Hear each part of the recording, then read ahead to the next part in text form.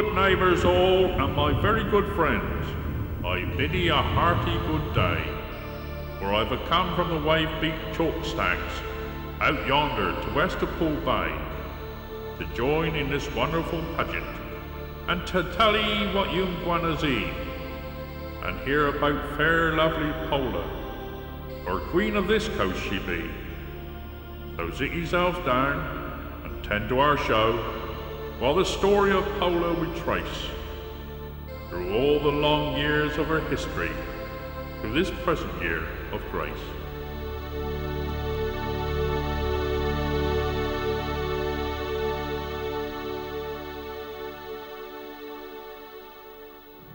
With those words, the voice of Old Harry launched the pageant of Poole in 1950.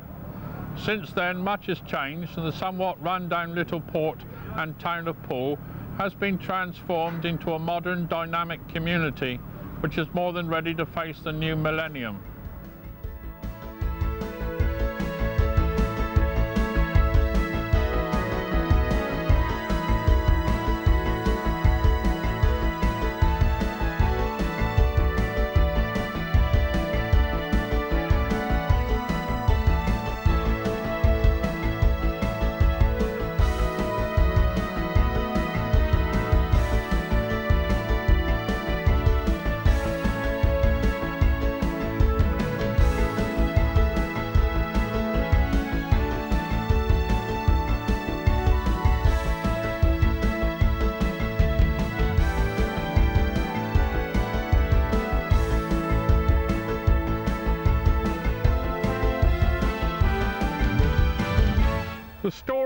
Poole really began before Old Harry existed, when the first Stone Age men moved into Dorset, and Britain was still joined to Europe long before the sea broke through the chalk cliffs and the land sank to form the English Channel.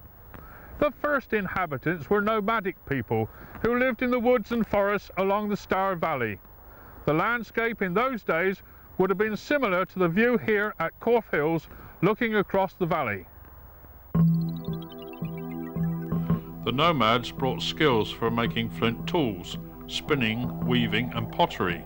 They fed themselves by gathering roots and nuts, and by hunting birds. Bears and wolves also roamed the area.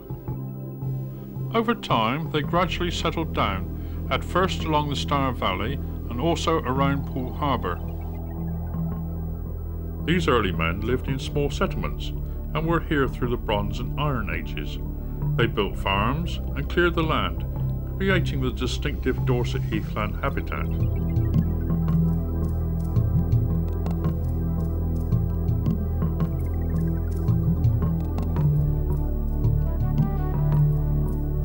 High on Broadstone Golf Course there is a Bronze Age barrow, and around Poole there have been many important finds of tools and other items.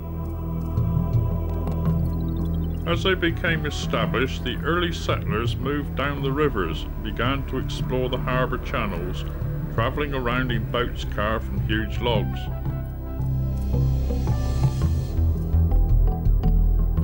The Poole log boat has given us our first glimpse of the life of early mariners. In 1964, local divers found a massive Iron Age boat, almost completely intact, in the mud of Poole Harbour. Today, after many experiments and a 10 year stay in a special tank at Scaplen's Court, the boat has been moved here to Hatch Pond. It is now preserved in a special sugar solution, where it will remain until the delicate timber is stabilised sufficiently for the boat to be removed.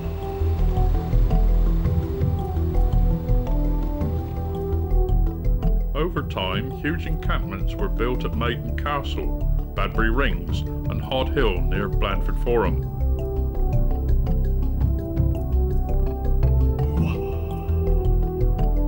Iron Age men became involved in making pottery, which flourished because the rich clay deposits to be found in the area.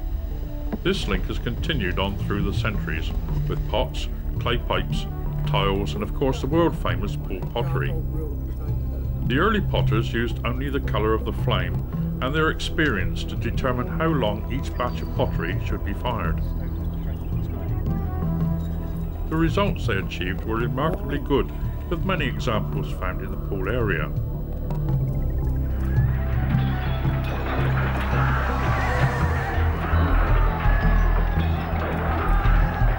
In AD 43, the Roman Second Legion invaded, led by the mighty General Vespasian who went on to become the Roman Emperor. They stormed the hill forts of Maiden Castle, Hod Hill, Badbury, and many other encampments, and within a short period controlled the area, a domination that was to continue for nearly 400 years. The Romans introduced farms systems of law and order, and brought with them many arts, crafts, and skills that were to help develop the civilized world. They also built a port at Hamworthy and from it a road through to a fortress at Lake and on to Badbury Rings and Old Sarum. The fortress at Lake was the first military base in the Poole area, which even to this day maintains its military links with the Royal Marine Commandos base at Hamworthy, where soldiers of a very different kind are trained.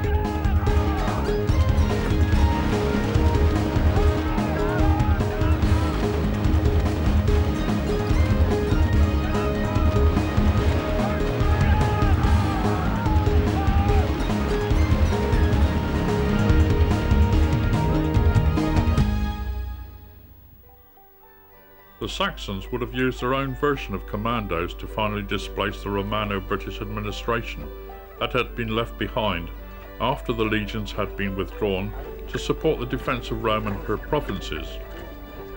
Thus by 660 AD, the West Saxon kingdom had become established.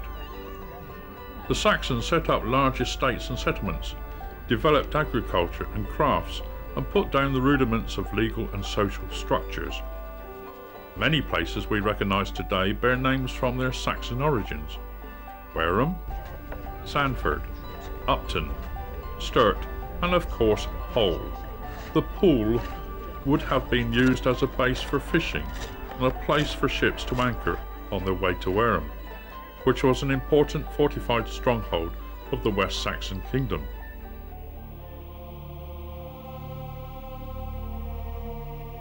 During this time, the new Christian faith was spreading and beginning to replace many of the old pagan ways. St Aldhelm became the first bishop for the Dorset region. Leaving from Wareham in 700 AD, he was one of the first pilgrims to set out for Rome.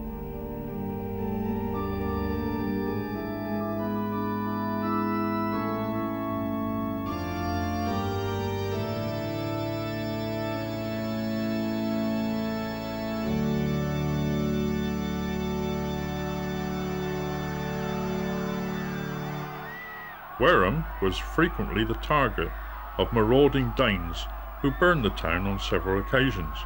In 876, Alfred the Great trapped a Danish fleet at Arne and drove them out past Poole in a great sea battle. A raging storm finally wrecked 120 ships on the shore at Studland. Over several centuries, the fortunes of the Danes and Saxons ebbed and flowed until 1015, when King Canute prevailed and occupied Brownsea Island, where he stored loot taken from the plundered churches and monasteries in Wessex. By the time of the Norman invasion in 1066, a large manor was established at Canford Magna. It was one of many estates confiscated from Saxon owners and passed to Norman sympathisers who had supported the invasion.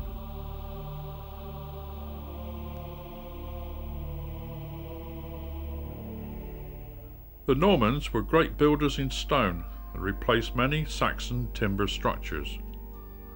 They built castles and churches, with examples of their work visible at Studland, Worth, Christchurch, Wimborne, and of course Canford Magna.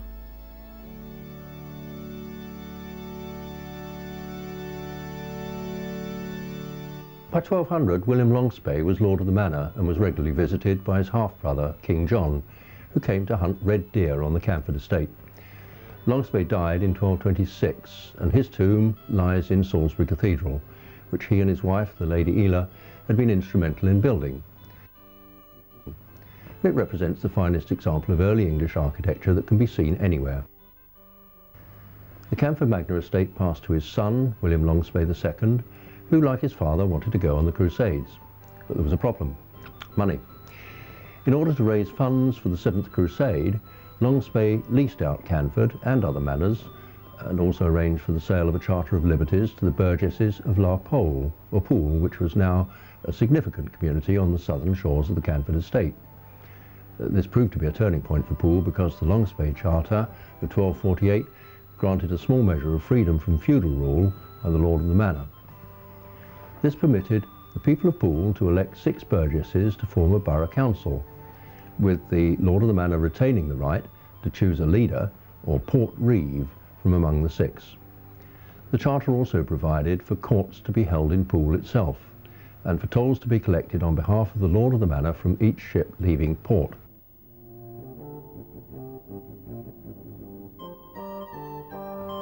As for William Longespée II, he perished a year later in an ill-advised attack on the Saracens near Mansurah in Egypt. Although he lies buried in France, there is a monument to him not far from his father's tomb in Salisbury Cathedral.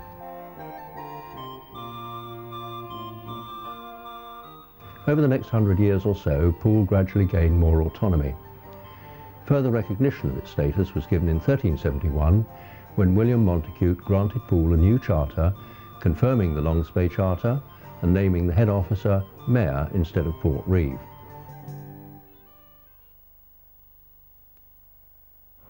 The ancient rights bestowed by Longespée and Montacute are upheld each May with the annual mayor making ceremony held here in the council chamber of the Civic Centre at Poole.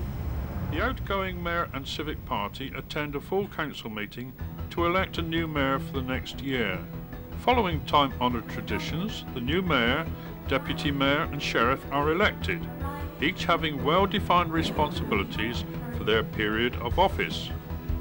Oh yay! Oh yay! Oh yay! Does any person here offer himself for the office of mayor of this borough for the ensuing year? Those in favour? Any against? I declare the election of Councillor John Graham Stewart Curtis as Mayor Alvin of the Port of Poole, Mayor of the Staple and Park Market for the ensuing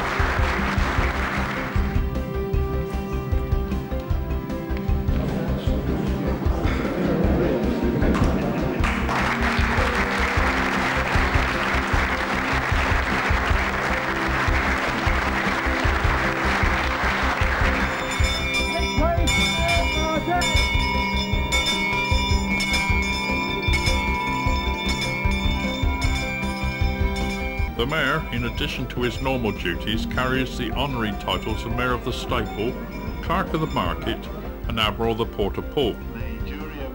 One of his duties as Admiral is to uphold the sea boundaries of the port in a ceremony which has its roots in the Winchelsea Certificate of 1364, which formally recognised the sea boundaries of the borough and gave Poole the same rights of jurisdiction at sea as the All Ports.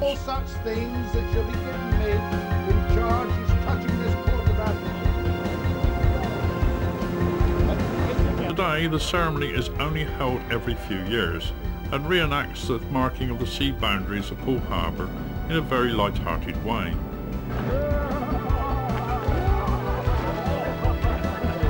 The Admiral of the port and his jury proceed around the harbour in the Admiral's barge and at each limit carry out the ceremony of beating and pricking of a young boy and girl.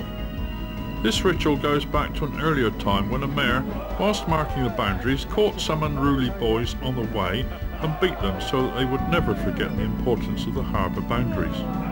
In later years, girls were included and their hands were pricked so that they would not forget their heritage.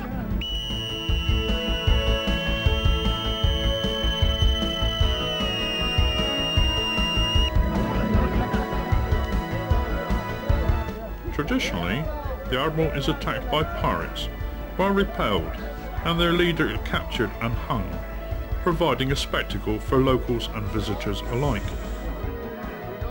The importance of the sea was reflected in the constant demands from the king to provide ships and mariners to support the many wars in which Britain became involved. In 1347, Poole sent four ships and nearly 100 men to the siege of Calais, which was key to the conquest of France.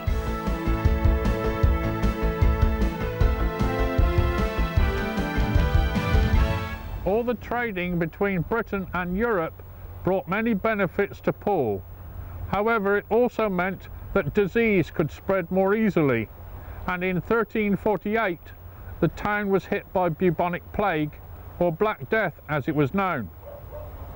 Thought to have arrived at Melcombe Regis with rats from France, the plague quickly swept through Weymouth and onto Poole, killing a third of the total population. The people of Poole who died were buried in a graveyard here at Baiter, chosen for its isolation and accessed only by a narrow causeway from the town. Much later, during the Napoleonic Wars, Baiter was used to site a hospital and gunpowder store. By the beginning of the 15th century, Poole was becoming a popular port of embarkation for pilgrims on their way to the shrine of St James in Santiago.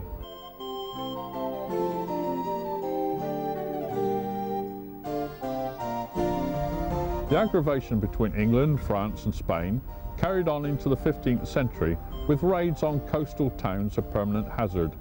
The man who led the English reprisals was one Harry Pay, part privateer, pirate. Harry led raids from Normandy right through to the Bay of Biscay and Finisterre. So angry were the Spanish and French that they sent a large fleet to attack Poole, which was unfortified. After a fierce battle, the gallant men of Poole drove back the raiders using thick doors as shields. Just imagine what it would have been like standing here in Bull Lane. The French and Spanish attackers would have been well armed, but these alleyways are so narrow that men armed with pikes and staves behind heavy timbers would have had the advantage over the attackers and would have been able to block their progress almost indefinitely. However, in spite of this valiant defence, the church and town cellars were burnt. In those days, the town cellar was called the King's Wool House and was a store for wool and hides. It stretched across the road and joined with what is now part of the King Charles Public House. As well as ransacking the town, the raiders were looking for Harry Pay, who was long gone. They did, however, find his unfortunate brother, whom they killed before setting fire to the town and leaving. Two years later, as revenge, Harry Pay captured 120 French vessels laden with iron, salt and lead and brought them triumphantly back as a gift for the valiant men of Poole. During this time and for the next century, the Lords of Canford Manor supported the reigning monarch, which was not surprising because most of them were related to him in some way. They also allowed more freedom in the day-to-day -day running of the port. The medieval Canford Manor had been built and the kitchen wing known as John o' Gaunt's kitchen still stands today as a fine example of the period. In 1433, King Henry issued letters patent elevating Poole to the rank of port of the staple. This placed Poole in an elite group of ports which were allowed to export staple goods like wool and hides that all attracted customs revenue and which were being produced from the growing number of sheep farms in the area. The grant of 1433 also authorised the fortification of the town. Sadly, no trace of these defences remain today. Some buildings of the same period that have survived are the almshouses of the Fraternity of St George here in Church Street. Built before 1429, they were for members of the fraternity in need of accommodation and food. Today the building still provides sheltered accommodation and are the oldest continuously occupied domestic buildings in Poole.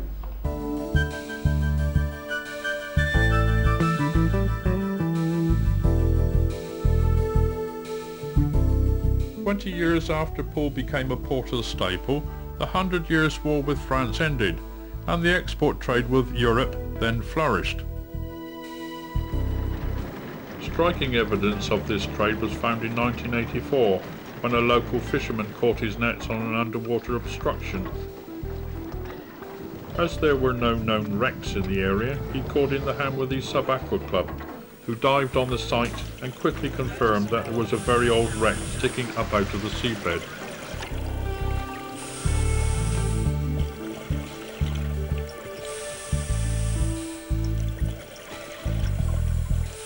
Experts were called in from Poole Museum and the National Maritime Museum and further dives organised. Samples of Spanish pottery and other cargo were recovered and soon it was apparent that the site was of major importance. What the divers had discovered was the remains of a Spanish merchant ship older than the Mary Rose and which had sunk whilst trying to shelter from a storm. This site has been extensively surveyed and details of the ship's construction and the nature of the cargo established. Another source of trade as special to Poole was with the Channel Islands. The wily merchants of Poole had realised that in times of war and strife, when direct trade with the continent was prohibited, the Channel Islands provided a gateway to and from the markets of Europe. By the late 1400s, there would have been a large number of stone houses along the quay at Poole. The only one to have survived is this old town house, now known as Captain's Court. It is possible that King Henry VII visited here and that the building was the first town hall in Poole. Later it was converted into the George Inn and by the 20th century had become tenements that had fallen into a bad state of repair. A severe storm in 1923 caused damage that revealed the medieval structure. After many setbacks, the historian H.B. Smith, together with former Mayor Charles Carter and the Society of Poole Men, managed to raise enough funds to begin the work of restoration. Today, the building represents one of the finest examples of a medieval townhouse in the country. All through the 15th and 16th centuries, overseas trade and shipbuilding at Poole flourished. In 1989, important evidence of this was found when an old foundry site, which was being excavated, revealed the remains of a shipyard and examples of beautifully preserved timbers made for a medieval ship. The reputation of the shipbuilders of Poole must have been very high because in 1512 Henry VIII commandeered local shipwrights to build a ship for him. At about the same time, he also gave St James's Church freedom from Canford Manor, thus establishing the parish church in its own right. A few years before all this happened, a discovery was made across the Atlantic, which unbeknown to the men of Poole, would transform the fortunes of the people and the town for several hundred years to come. It was the discovery of Newfoundland by one John Cabot in 1497. His original goal was to discover a western route to Asia. He'd been granted letters patent by King Henry VII to search for unknown lands and bring back merchandise to Bristol. What Cabot found in June 1497 was not only a newfound land, but also one of the largest fishing grounds ever discovered by man. The seas were teeming with cod, so much so that the passage of his ships was impeded. The news of the abundant stocks soon tempted the more adventurous mariners of Poole, and by 1528 records show that large quantities of salt, an essential ingredient for the salt fish trade, was being landed at Poole.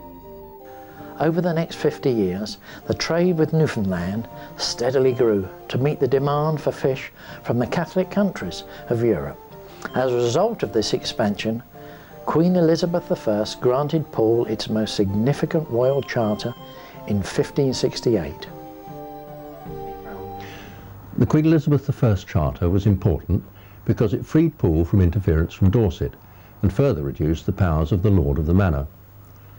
The Charter gave Poole the status of county of the town of Poole uh, and the right to appoint its own sheriff, uh, hold courts and markets, and to allow the burgesses to appoint a mayor. The new status meant that the town had to be improved, and a new town hall was built in Fish Street, together with a market house and a prison.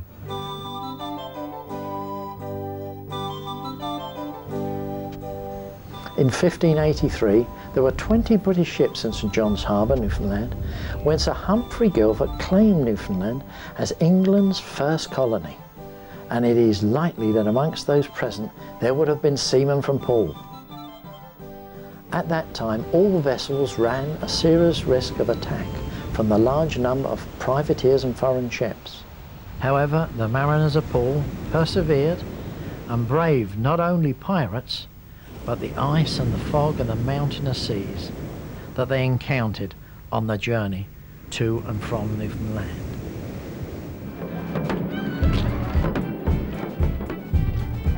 Whilst the fishing trade was quietly expanding elsewhere, wider issues were coming to a head as Britain was caught up in the Civil War. Poole was staunchly Puritan and parliamentarian under constant threat of royalist attack. Wimborne had declared for the king, so had the Banks family in nearby Corfe Castle.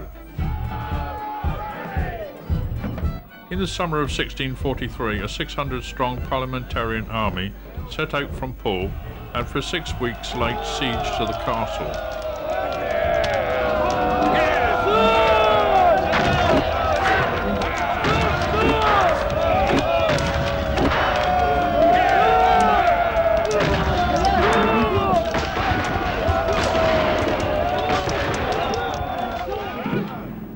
Unsuccessful and withdrew to help slow the royalist advance from the newly captured town of Dorchester.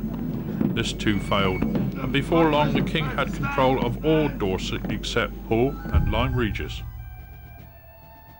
In a desperate attempt to seize the town, the royalists devised a cunning plot.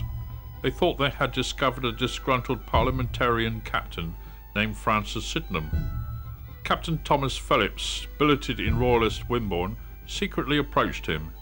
In return for £40 and various other incentives, Phillips asked Francis Sydenham to leave the town gate open one night so that the Royalist army could infiltrate and take over the town. Sydenham informed Colonel Bingham, governor of Poole, and pretended to go along with the plot. At 2 a.m. on the agreed night, the Royalist troops under the command of Earl of Crawford were given the all clear by Sydenham the Royalists walked straight into a trap and were fired upon from the concealed Poole troops. In the ensuing battle, the slaughter would have been great had not many of the large guns been mounted too high to be fully effective. Nevertheless, the attackers were routed with heavy loss and the plotters captured. Lord Crawford narrowly avoiding capture. The offenders were brought to court, tried and subjected to immediate execution. Within three years of the Poole plot, the fortunes of the King's army had completely reversed, and by early 1645 only Portland and Corfe Castle held out for the King, and the men of Poole laid siege once again to Corfe Castle. This time everyone realised the cause was lost, and in February 1646 a small number of troops infiltrated and took possession of part of the castle. Realising that a full-scale attack was about to be launched by Colonel Bingham's force from Poole, the Royalists surrendered. The following month, Parliament voted that Corfe Castle should be razed to the ground and left unfit for defence. The result is the remains we see today, which is still one of the most spectacular sights on the Dorset landscape.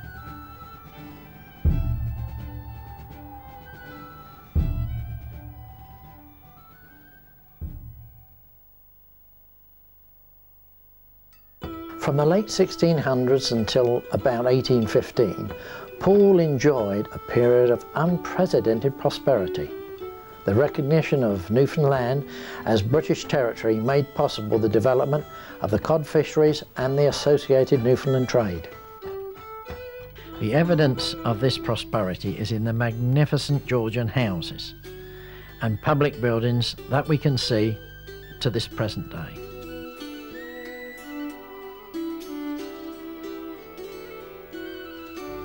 The merchants of Poole founded whole dynasties which through intermarriage and alliance formed an elite group that became known as the merchant princes of Poole.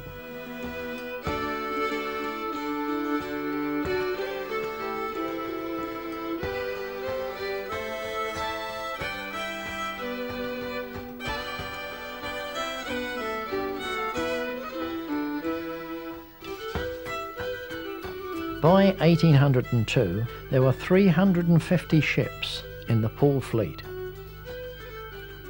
Between 1805 and 1815, the two great battles of the Napoleonic War, this was an extremely profitable time for the merchant princes.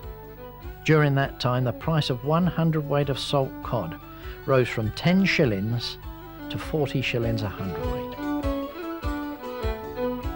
Not all the families were involved with the Newfoundland trade. Some, like the Thompson and Jolliffe families, were involved in trade with the Carolinas and the West Indies.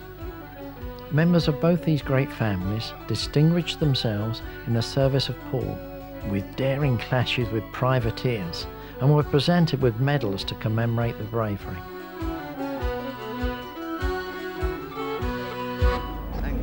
Running alongside successful commerce and maritime adventure, there was a darker side to Poole, smuggling. The harbour and the chines leading out from nearby beaches were ideal for running contraband. In one notable incident, Poole was involved with the notorious Hawkhurst gang, who terrorised the south coast and carried out a daring raid on the Poole Customs House to recover goods seized by customs officers. The gang smashed down the door and made off with the booty. Later, they killed a customs officer and another man who had informed on them. Most of the gang were eventually caught, tried and hanged. Although smuggling and the seamier side of maritime life was never far away, the spiritual side of things was also well represented, both in the parish church of St James and here in the United Reformed Church of Skinner Street, the oldest church still standing in Poole. It was here in Poole, in the nearby parish church of St James, that the legendary parish clerk William Knapp worked. He became famous as a composer of hymn tunes, notably Wareham, and the Christmas Carol, while shepherds watched their flocks by night.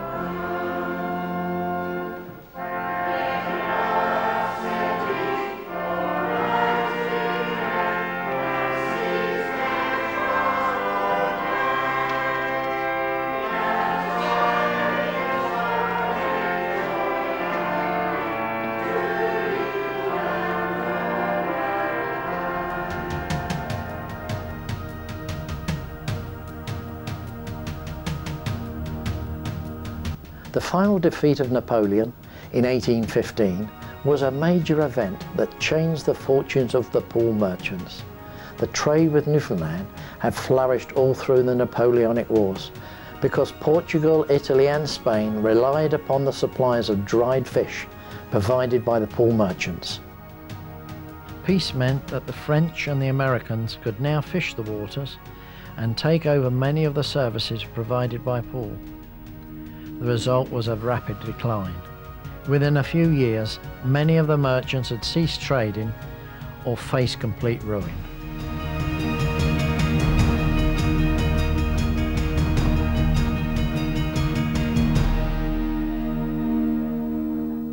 Some of the merchants did not at first recognise that the business was declining and thought that the slump was only temporary. Christopher Spurrier, who was the young head of the great Spurrier Empire, was more concerned with an enjoying an extravagant lifestyle in the fashionable resorts of Ryde and Weymouth, rather than having any concerns about the declining trade. In 1814 he married Amy Garland, the most eligible young woman in Poole, and pressed on with building this magnificent mansion at Upton for his new wife. No expense was spared and the house with sweeping views over Poole Harbour was completed in 1816.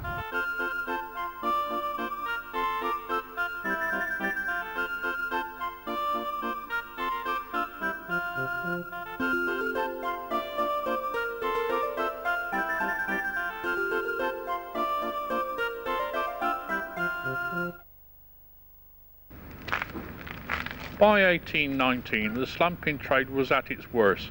Nevertheless, it did not prevent the people of Poole from rebuilding the parish church of St James at great expense to the town. The old church was so dilapidated that it was decided to completely rebuild it. One feature was the magnificent pillars fashioned appropriately from Newfoundland pine.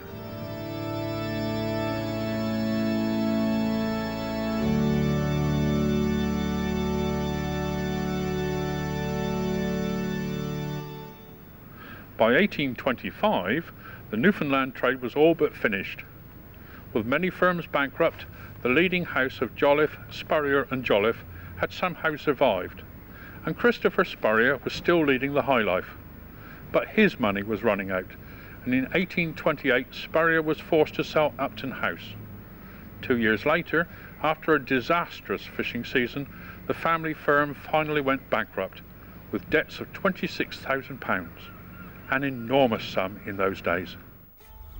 One remarkable man was John Bingley Garland, who had been Mayor of Poole in 1824 and went on to become the first Speaker in the Newfoundland House of Assembly in 1832. Isaac Lester's house here at Post Green near Poole was the model for which the Garland House in Trinity evolved and was the first brick-built house in Newfoundland. By the 1960s, the house in Trinity had fallen into disrepair and was to be demolished. Its importance was then realised and in 1990 the Trinity Trust was formed to raise funds on both sides of the Atlantic to rebuild the property. After enormous efforts by Dr Alan Perry and the Trinity Trust, the money was raised and the rebuilt house opened on the 25th of June 1997. This coincided with the celebrations marking the 500th anniversary of John Cabot landing in Newfoundland.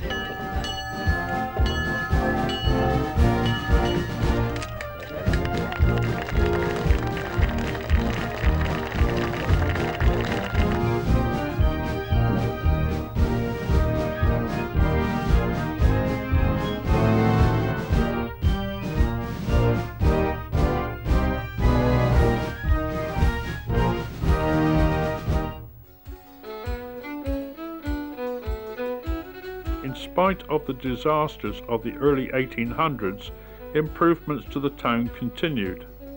And in 1830, William Ponsonby, MP for Poole, and Benjamin Lester Lester gave Poole a subscription library. The building is now used by Poole Museums and is visited annually by thousands of visitors. This end of the High Street is also the site of the Antelope Hotel, from here at the nearby Angel Inn, stagecoaches set out daily for London, Weymouth and Southampton, with a coach to Salisbury leaving three times a week. There are also numerous carriers operating out of the port.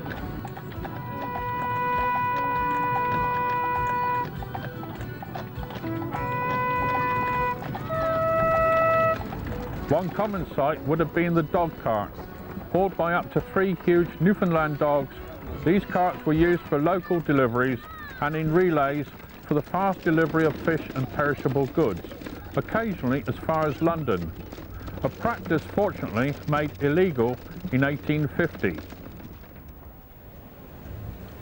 Another innovation by William Ponsonby was the building of the first bridge from Poole to Hamworthy in 1834.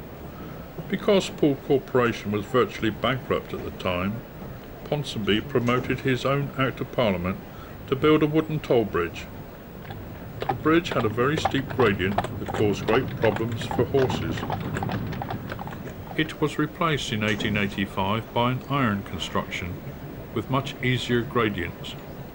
It was also privately owned and collected tolls until 1926 when it was purchased by Poole Council. The following year, amid great pomp and ceremony, the present bridge was opened.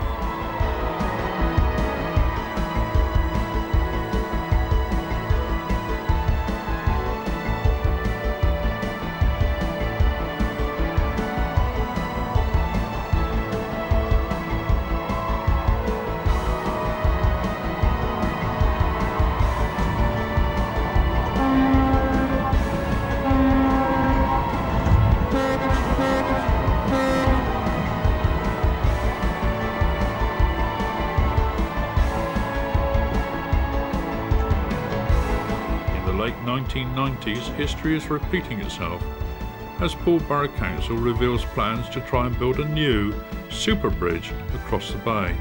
As in 1834, the problem is finding the cash.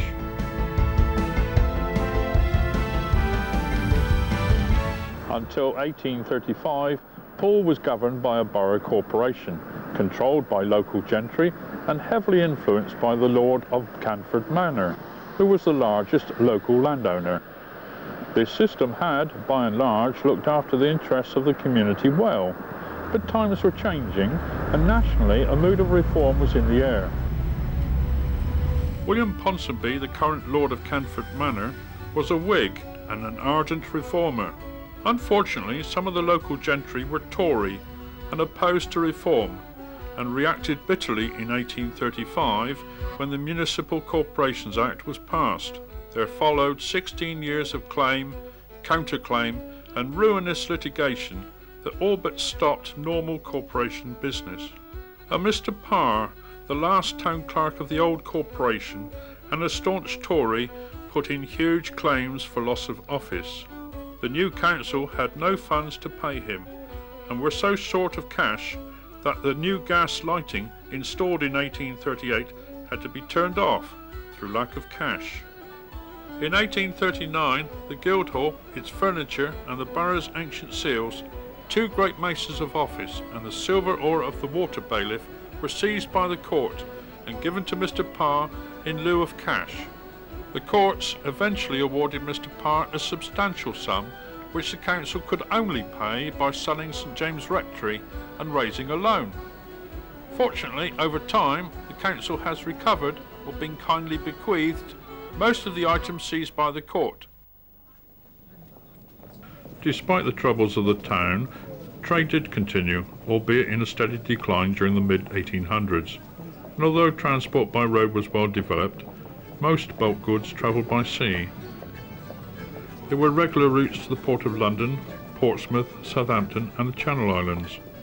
Incoming ships brought coal from Newcastle and timber from Scandinavia, Nevertheless, the town was in need of a boost. So in 1847, when the first Poole railway station was opened on the Hamworthy side of Poole Bridge, it was hoped that the economy would gradually pick up. Unfortunately, the reverse happened. The railway effectively killed off the coastal shipping trade carried out from Poole. Within five years, the fleet of ships had fallen from over 60 to practically nothing. The situation was further aggravated when in 1872 a railway line was opened from Broadstone Junction, bringing the railway right to the centre of Poole and sealing the fate of coastal shipping for good. Two years later, the line was extended across Parkstone Bay and through to the newly emerging town of Bournemouth. There was also a benefit from this final extension to the railway. When passing across Parkstone Bay, the causeway formed a magnificent saltwater lake. This became the centrepiece of a large park formed from land donated by Lord Wimborne along with adjoining acreage purchased by the council. Poole Park was officially opened by Edward, Prince of Wales on 18th January 1890 and has been a source of great pleasure to thousands of residents and visitors alike.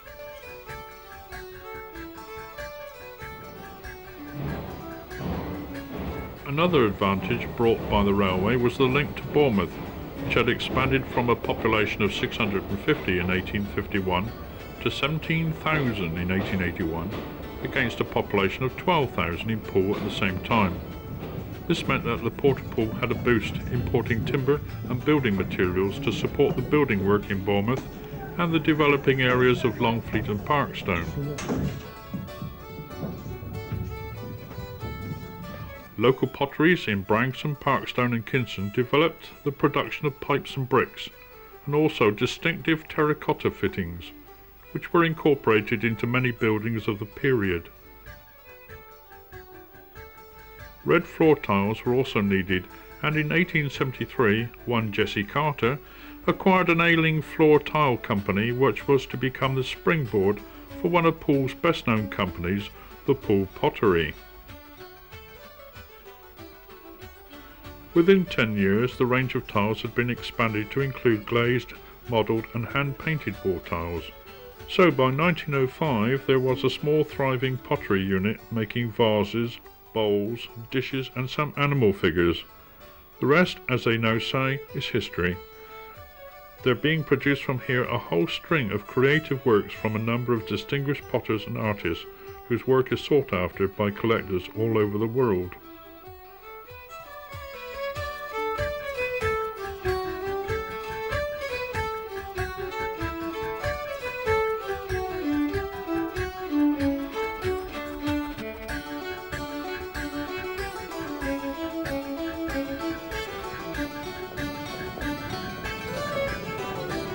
The late 1800s also saw the growth of larger shops in Poole High Street.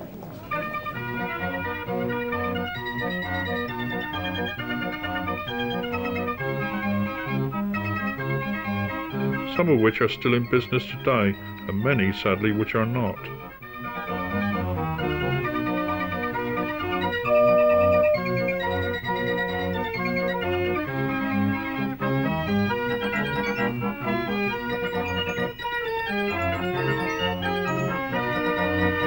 There was also thriving breweries and foundry works.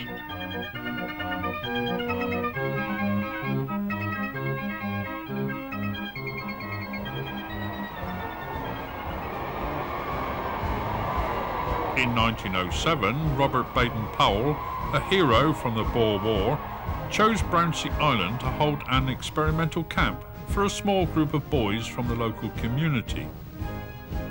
The event was a success, Baden-Powell went on to complete his book, Scouting for Boys. This inspired many youngsters to form their own troops, and so the scouting movement was born. Subsequently, it grew into an organisation that for over 90 years has enhanced the lives of millions of boys and girls throughout the world. In 1885, the first Poole lifeboat station was established.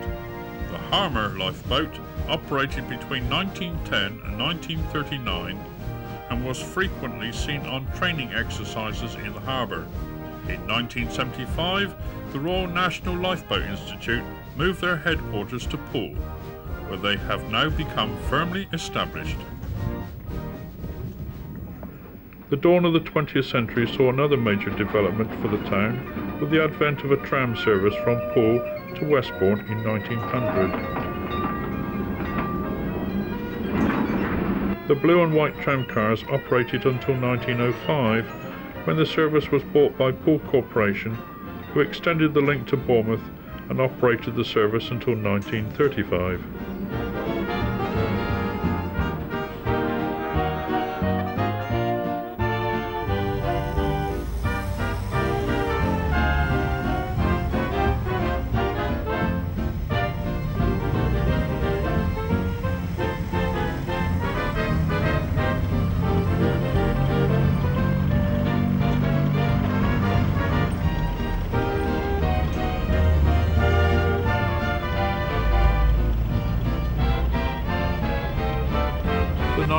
1930s were a time of worldwide depression and Poole did not escape. One project designed to ease the high unemployment was the construction of a new municipal building in 1932, with frescoes depicting important moments in the history of the town. The Second World War was not far away and the people of Poole were drawn into the conflict with the rest of the nation.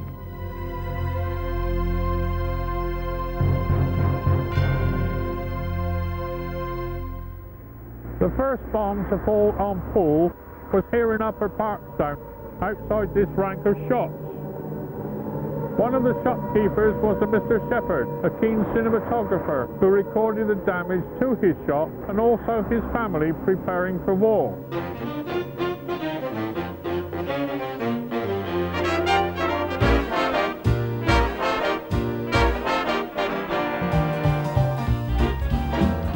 Harbour was thought to be a prime area for invasion and was heavily fortified. As well as serving in the armed forces, the people of Poole enthusiastically joined up as air raid wardens and members of the Home Guard. When peace was in sight, BOAC returned with a flying boat service that was to serve many parts of the world. Peace finally came in May 1945 and there were flags and bunting everywhere with celebrations and street parties.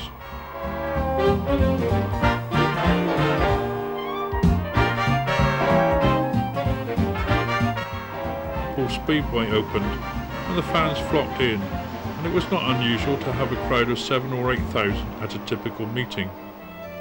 The old town of Poole, however, was in a sorry state. Much of the housing had been condemned before the war.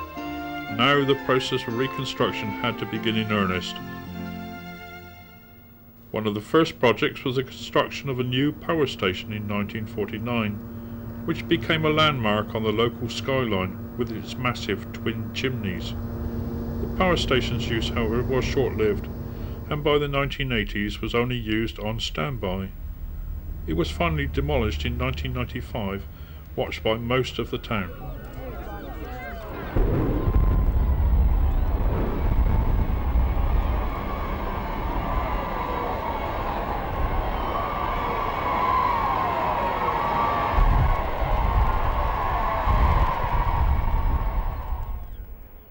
As the town climbed out of the austerity of the war years, it became apparent that if Poole was to recover, radical action would have to be taken. Housing, schools, roads, and just about all the services needed to run a modern town were lacking, or sadly run down, not least here in the old town of Poole, which was in a sorry state. Many of the houses were derelict or unfit for occupation, some inhabited by vagrants or left to rot. Consequently, the people who were left gradually moved out.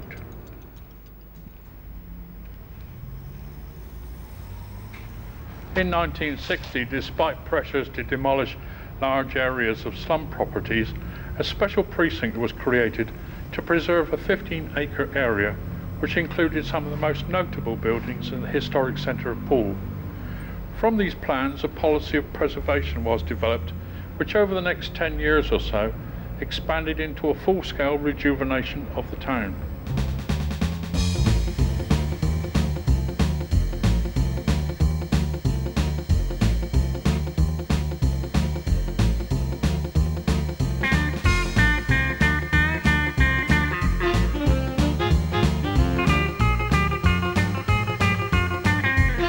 Outside the old town, one of the first new buildings to be erected was Poole General Hospital, built as a replacement for the old Cornelia Hospital at Longfleet.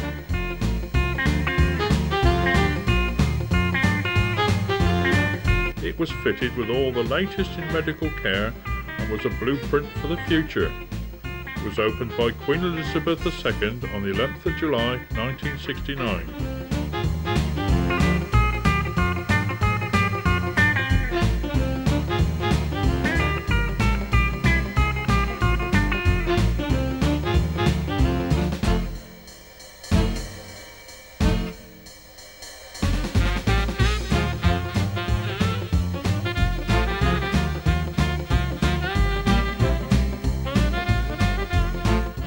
1960s and 1970s, the pace of change accelerated with an abundance of new projects. The largest of these was the plan to revitalise shopping in the town with a massive redevelopment. A huge area at the end of the high street through to the ladies' walking field was cleared and a modern shopping centre built.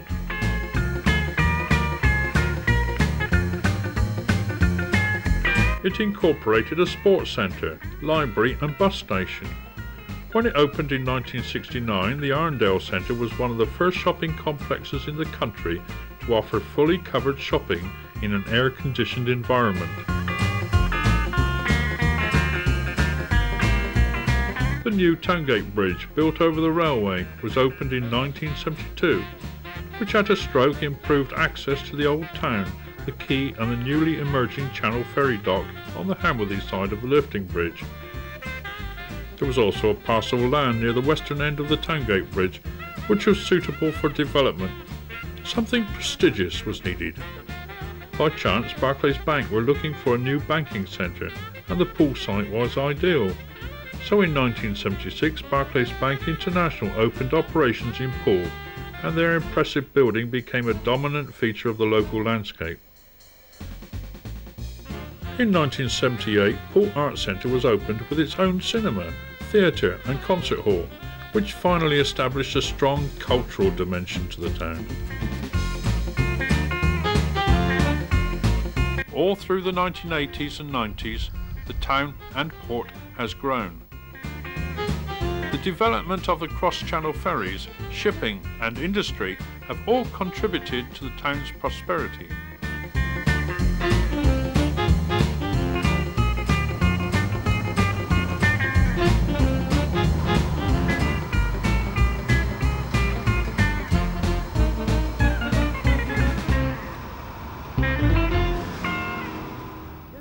Today, Poole has a strong identity.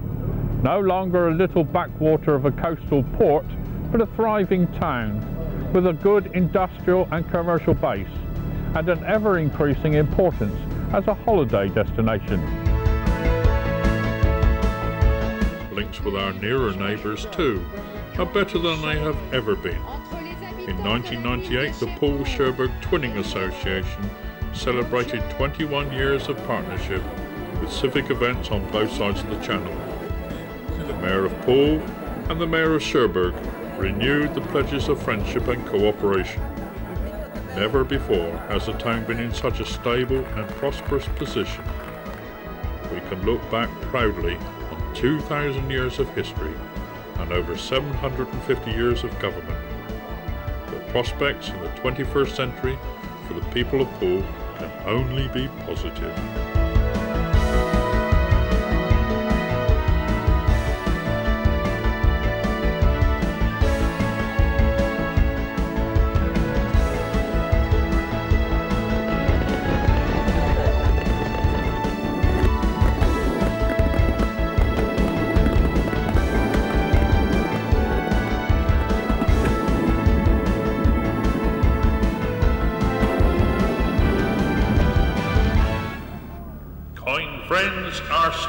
Now be finished.